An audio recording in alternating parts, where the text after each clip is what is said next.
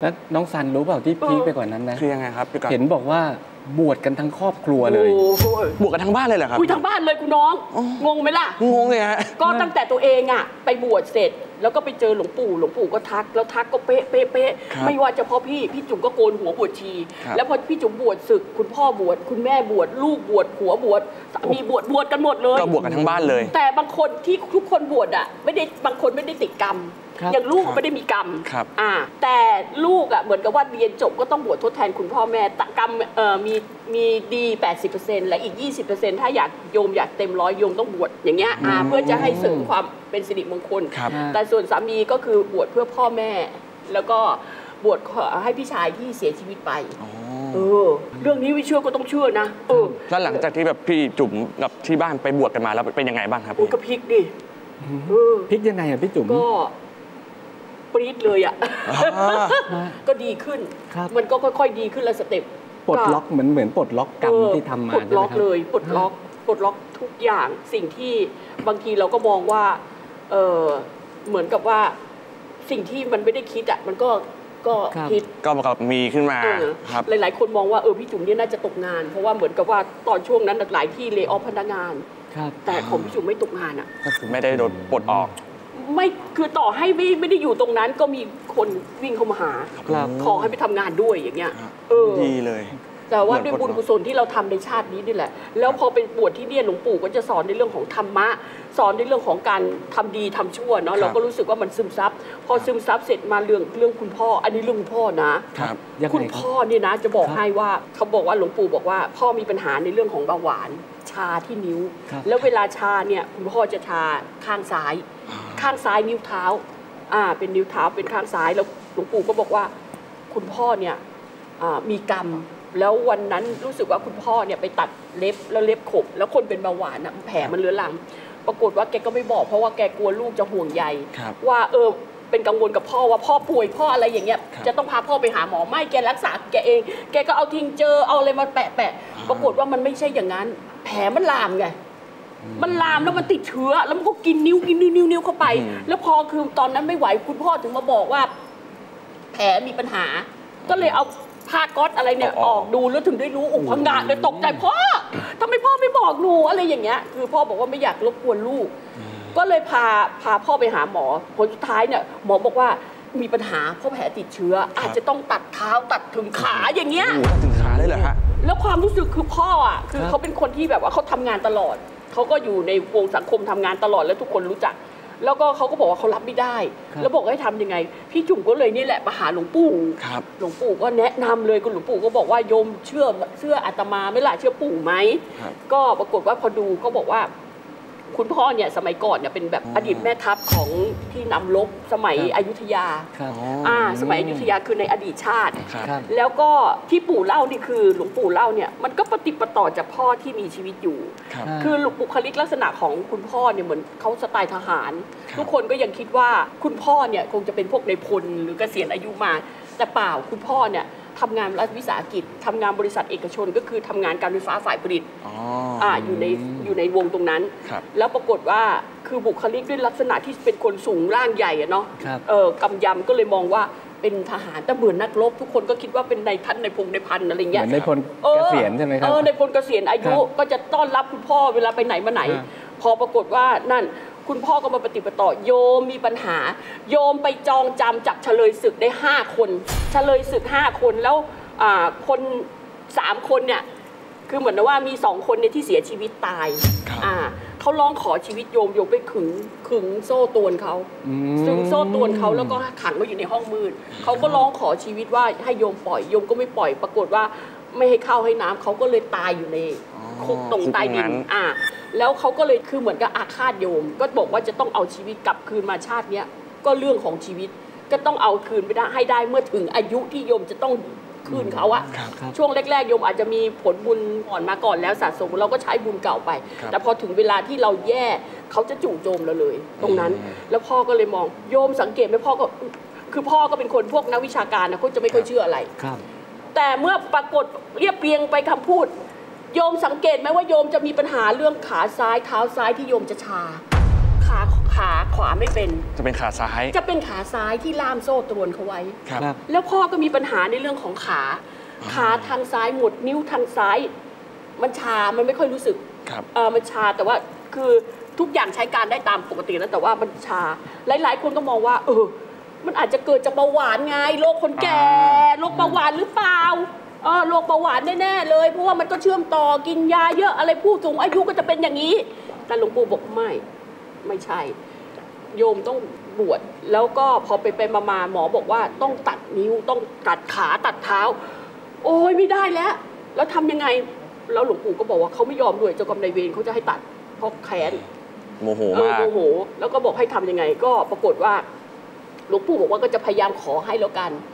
ขอให้ปุ๊บห ลวงปู่บอกว่าเขาก็ไม่ยอมเขาก็โกรธปู่ว่าปู่มาวุ่นวายกับกงกรรมชีวิตของชาวบ้านเขาครับก็ดูปู่อีกในนิมิตอะปู่ก็บอกว่าก็ปู่จะขอให้แล้วกันนะโยม ก็ขอไปขอมา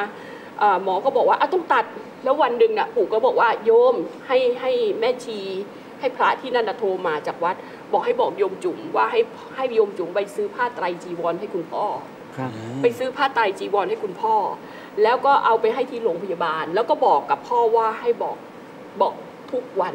ว่าข้าพเจ้าขอให้สัจจะกับกับทางเจ้ากรรมนายเวรน่ะว่าจะบวชให้ท่านเนี่ยเมื่อข้าพเจ้าหายเป็นเวลา 50 วัน จะบวชให้ท่านเออขอให้ข้าจะข้าพเจ้า ขอให้ข้าพเจ้าเนี่ยได้มีร่างกายครบ 32ครับอย่าได้ต้องสูญเสียอวัยวะใดไปเลย เพราะถ้าเกิดสูญเสียไปขาไม่มีเท้าไม่ดี จะบินทบาทจะทำกิจของสงฆ์ได้สมบูรณ์แบบได้ยังไง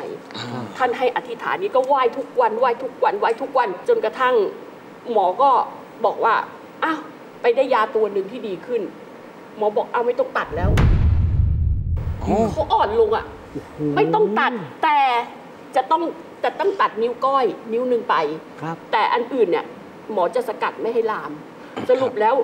ก็คือตัดแค่นิ้วก้อยนิ้วก้อแล้ยวนิ้วปู่เดียวก็บอกว่าเขาขอแค่นิ้วหนึ่งขอคืนขอคืนกับเขา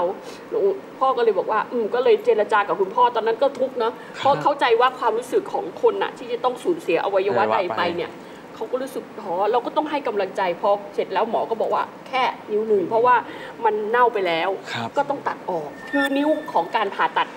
เบาหวานนะนะครัน้บองกอนน้องสันครับหมอนี่เขาจะไม่เย็บแผลนะคะเอ้าทำไมฮะไม่ได้เพราะเป็นเบาหวานอ๋อ เย็บไม่ได้มีอะไรไม่ได้ ให้สมานเองคุณปล่อยจะให้ทำยังไงแผลหายปล่อยเองให้มันสมานเอง แล้วการแผลเบาหวานที่ผ่าตัดเนี่ยกว่ามันจะสมานอะมันใช้เวลาร่วมปีเลยนะโอ้โหมันไม่ใช่ใช้เวลาสองสามวันนะเพราะเขาไม่ได้เย็บก็อ้าแล้วเห็นเป็นโพรงเนื้อหนูเป็นโพรงอย่างนั้นเนาะแล้วพอผ่าตัดอย่างเงี้ยก็ค่อย ๆ คือกว่าจะคืนอะกว่าสมานอะครับมันก็ต้องไปหาหมอทุกวันทุกวันทุกอาทิตย์ทุกอาทิตย์ไปเรื่อยๆอะไปล้างแผลอะไรพวกนี้แต่ใช่ไหมเชื่อไหมคะ หลังจากที่คุณพ่อเนี่ยบอกว่าจะบวชให้ พอหลังจากจัดนี้เขาบอกว่าขอให้คืนสู่สภาพเร็วครับๆเขาจะรีบไปบวชทันที คือพอที่จะเดินได้จะไปเลยครับก่อนนี้เลยค่ะ คุณพ่อบอก ปรากฏว่าค่อยๆดีขึ้น ภายในไม่เกิน 2 เดือนโอ้เดือนครึ่ง แผลนี่เร็วมากหมองง ไปกินยาหม้อหรือเปล่า หมอโรงพยาบาลน่ะครับเดี๋ยวว่าแต่หมองงเลยผมกับน้องซันผมก็ยังงงงงเลยเลคยรับไปกินยาหม้อหรือเปล่า เนี่ยเออไปเอาอะไรให้คุณพ่อกินหรือเปล่าทำไมแผลมันเร็วจังเลยครับเขาไม่เคยเจอรักษาแผลผู้ป่วยที่มันสมานเร็วขนาดนี้ที่แบบว่าสมานแล้วติดกันอะครับเออแล้วก็งงมากก็คือสมานงงอะไม่ได้อะไรเลยก็กินยาของคุณหมอนี่แหละ แล้วก็มากับคุณหมอเนี่ยมาตามนัดแผลก็ค่อย ๆ สมาน แล้วพอที่จะมีแรงมีกำลังคุณพ่อรีบไปเลยค่ะ รีบมาบวชเลย 50 วัน 50 วัน ใช่ 50 วัน หลังจากนั้นก็ค่อย ๆ ดีขึ้นทุกวันนี้คุณพ่อกลับมาใช้ชีวิตสุขภาพร่างกายแข็งแรง แล้วมีพลังใจมีสุขภาพจิตดีนี่งงมากเลยนะงงมากเรื่องอย่างเงี้ยคือเมื่อก่อนก็ไม่เชื่อนะเรื่องไอ้กฎแห่งกงกฎแห่งกรรมเนี่ยครับพอมาดูแล้วบอกมันจริงๆนะคือเราก็ว่าเราชาตินี้เราทำบุญแล้วเราเป็นคนชอบช่วยเหลือคนครับแล้วก็คิดว่าเราทำดีที่สุดในชาตินี้ แต่มันไม่ใช่ไงครับมันคือผลแห่งกรรมที่ตามมาอีกภพหนึ่งอย่างเงี้ย เออเหมือนเหมือนก็เลยบอกว่าปู่ก็เลยบอกว่าต้องสะสมต้นบุญไว้สำหรับชาตินี้ครับเออ เห็นว่าตอนหลังจากที่สามีของพี่จุ๋มเนี่ยบวชค่ะแล้ว ก็มีเรื่องแปลกๆด้วยใช่ไหมครับพี่ อุ้ยสามีพี่จุ๋มนี่งงมาก คือสามีเป็นคนน่ารักเราเป็นคนดีอะครัเนาะบ คือเขาก็จะดูแลครอบครัวคือเป็นคนน่ารักมากๆ ไม่ได้ชมสามีนี่เขาเป็นคนแบบนี้จริง ครับ ๆ เราอะเหมือนกับว่าเป็นเป็นพ่อบ้านแต่แกเป็นแม่บ้านแกทำทุกอย่างให้ สลับกัน สลับกันคือจะดูแลบ้านดูแลลูกหมดเลย แล้วสามีก็เชื่อว่าตัวเองจะไม่มีผลแห่งกรรมหรอก ครับเพราะว่าแกพบในชาตินี้แกไม่เคยไปนอกลู่นอกทางอะ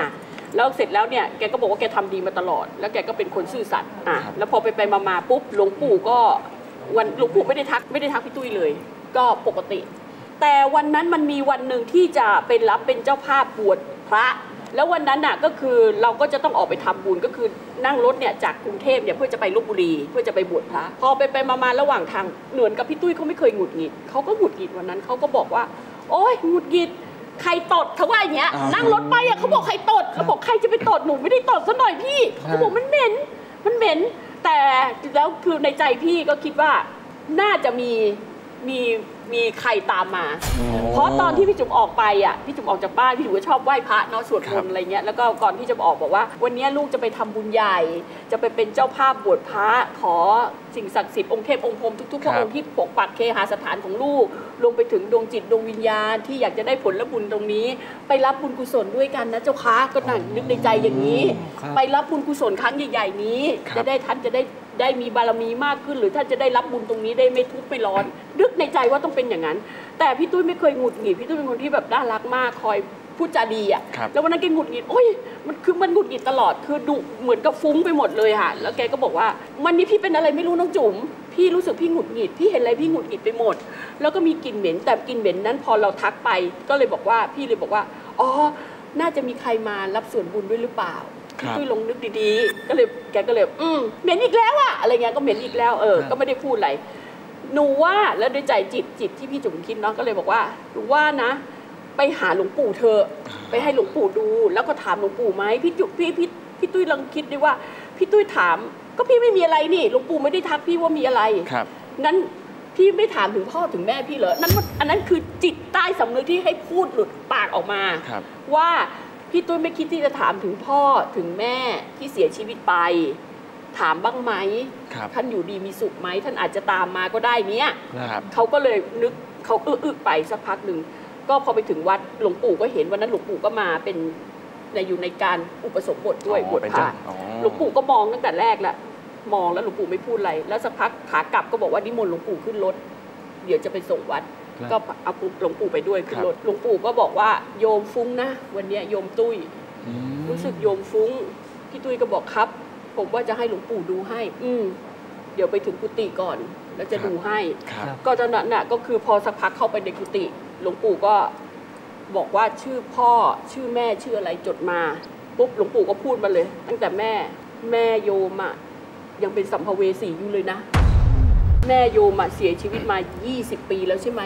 พี่ตุ้ยเขาก็ขนลุกรู้ได้ยังไงอะอ่าแม่เสียมากี่ปีไม่ได้บอกหลวงปู่อะแต่รู้ว่าคือคนเนี้ยคือพ่อกับแม่ที่จากไปแล้วอะครับแล้วจะหลวงปู่จะรู้ได้ไงว่า 20 กว่าปีที่แม่จากไปเขายังเป็นสัมภเวสียังเล่ร่อนอยู่เลยยังไปเกิดไม่ได้นะ น่าสงสาร รู้ไหมว่าโยมยังวนเวียนอยู่ที่บ้านอยู่นั่นแหละ แล้วพอถามเรื่องพ่อ พ่อก็ยัง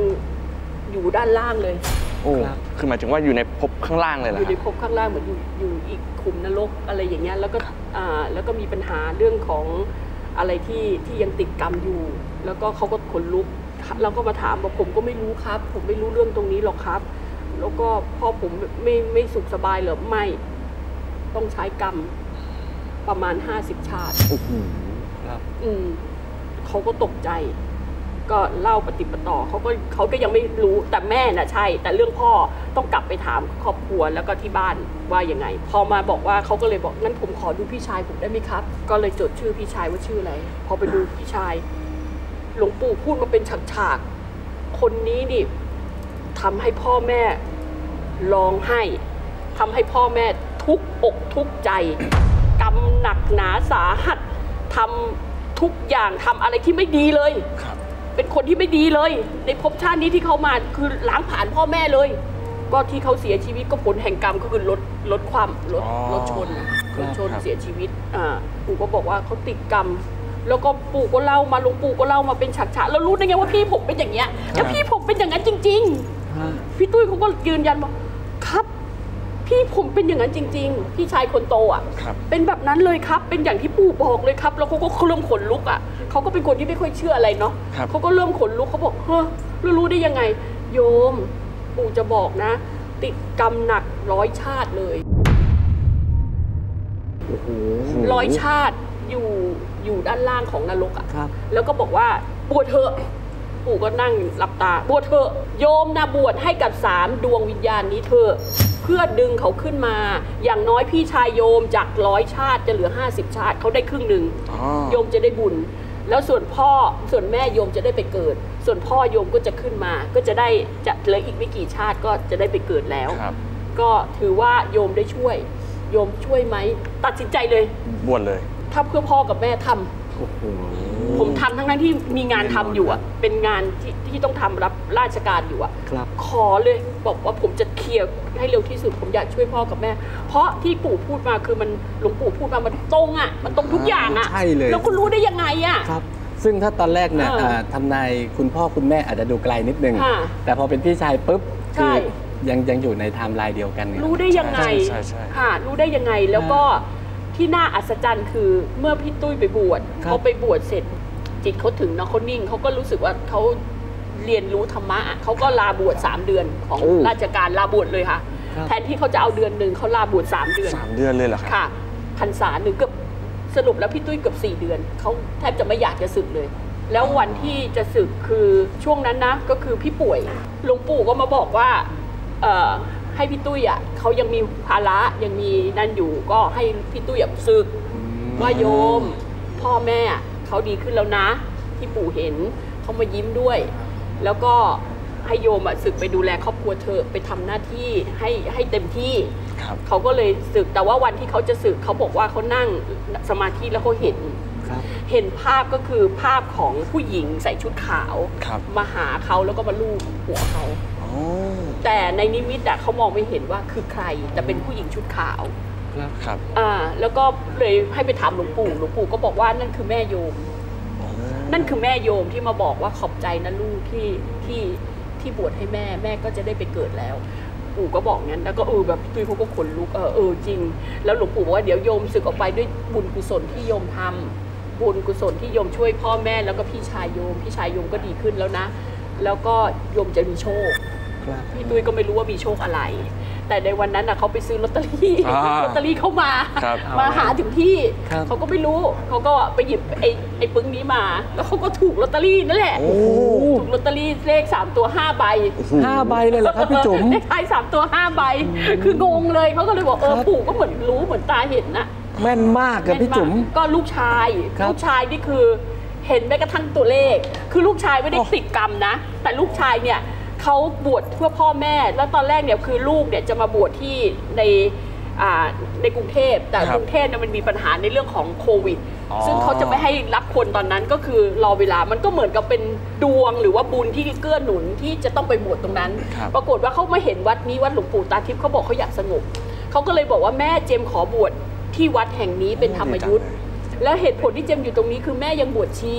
เจมส์จะได้อ๋อเจมส์แม่จะได้ใส่บาตรกับลูกเป็นพระใกล้ชิดจะได้กันใกล้ชิดใกล้ชิดกักันนเจมส์ก็ดูแลแม่เจมส์ก็อยู่ในในใน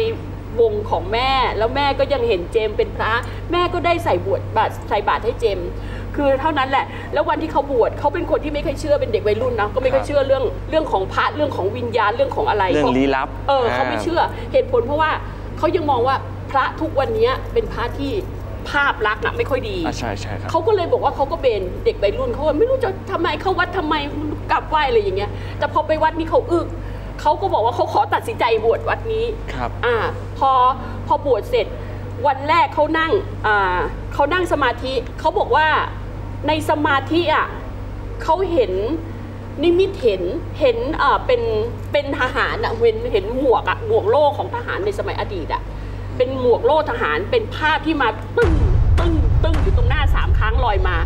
แล้วก็คือเจ็บเก็บจับภาพได้ก็คือปุ๊บก็เห็นเป็นหมวกเขาจำภาพนั้นได้เลย แล้วก็เป็นผู้ชายใส่ชุดทหารเก่าครับแล้วก็เป็นหมวกเก่าๆเขาลงมาบอกว่าโยมแม่โยมแม่ เจมนั่งสมาธิแล้วเห็นเห็นอะไรลูก เห็นหมวกเขาเปิดใน Google เลยนะ หมวกสมัยโบราณเขาบอกเนี่ยเนี่ยเนี่ยเห็นคนใส่หมวกผู้ชายแบบนี้ แล้วภาพมาลอยอยู่ตรงหน้าสามครั้งอ๋อมันคืออะไร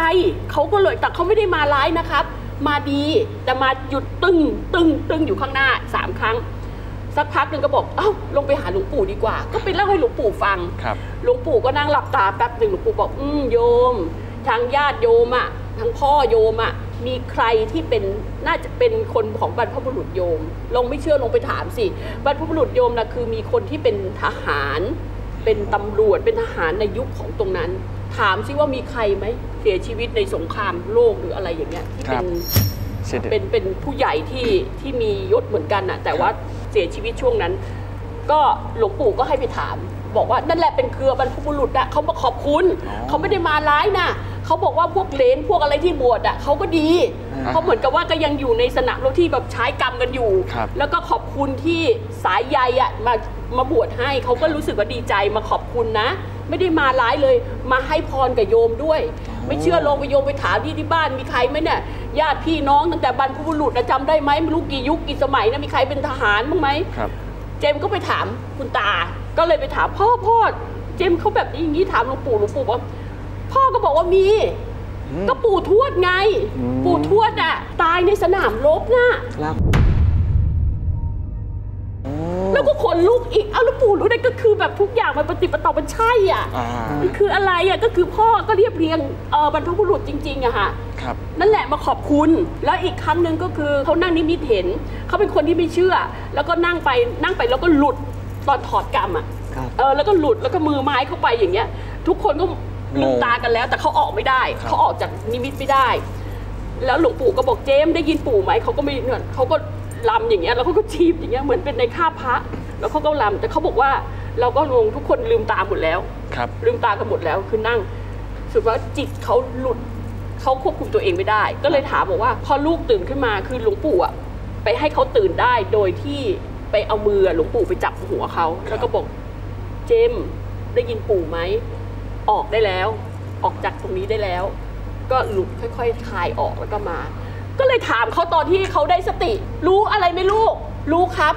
แต่เจมส์ควบคุมตัวเองไม่ได้อ๋อเข้าใจปะคือแบบว่ารู้ครับแต่เจมส์ควบคุมไม่ได้ มือนึงก็เป็นจีบ มือก็เป็นอย่างเงี้ยแล้วก็โยกอย่างเงี้ย คือเหมือนกับที่เขาแล้วเขาก็นั่งอยู่ในสมาธิแล้วก็ถามบอกว่า เจมส์เห็นอะไร เห็นเป็นจีวรครับ และอีกอีกอันหนึ่งที่เห็นเป็นเหมือนมีมีมือถือหอยสังครับถือหอยสัง แล้วก็แล้วก็มาคุยกับเจมส์อ่า เหมือนกับพูดอะไรสักอย่าง จะเหมือนก็จะเตือนอะไรแต่ว่าไม่เห็นกำลังเหมือนจะคุย แล้วก็บังคับตัวเองไม่ได้อ่าแล้วเสร็จแล้วก็เลยถามหลวงปู่ หลวงปู่ก็รู้หมดแล้วว่าใคร ไม่งั้นคือต้องคนมีวิชาถ้าไม่มีวิชาเอาออกกรรมไม่ได้ออกไม่ไม่งั้นได้ควบคุมไม่ได้หนูครับควบคุมไม่ได้ก็จะแตกไงก็ดึงเข้ามาไม่ได้อ๋อหลวงปู่ก็บอกว่าที่โยมเห็นเนี่ยเป็นพระที่นุ่งห่มจีวร เป็นรูปร่างใหญ่ไหมครับอ้วนๆใหญ่ แล้วที่ซื้อถือหอยสังเนี่ยมียังไงก็ผมเห็นลางๆครับ แต่ถือหอยสัง ก็เลยบอกว่าอันนั้นน่าจะเป็นพระพรหมส่วนอีกองค์หนึ่งคือพระสังฆจาย ไปดูหน้าหน้าวิหารสิใช่องค์นั้นไหมก็เขาออกไปก็ไปอยู่หน้าวิหารนั่งอยู่ เป็นพระสังฆจายพระพุทธรูปโอ้ตกใจอีกคนลุกอีกใช่ องค์นี้แหละครับ ที่เห็นในนิมิตอะเอออุ้ยแบบว่าคือแบบทุกคนก็งงอะ งงเสร็จก็คือแบบเออเอาไงเนี่ย แล้วเจมก็บอกว่างงครับ เจมก็งง เจมไม่เคยเชื่อเรื่องนี้หรอก มีแต่คนก็ถ้าเกิดเจมไปเล่าวงแววบ้า มีใครเขาไปเล่าเขาเขาก็บอกว่าเขาว่าเจมบ้าเขาไม่เชื่อเพราะเขาไม่เคยเจอตัวเองแต่ลูกเจอ เออ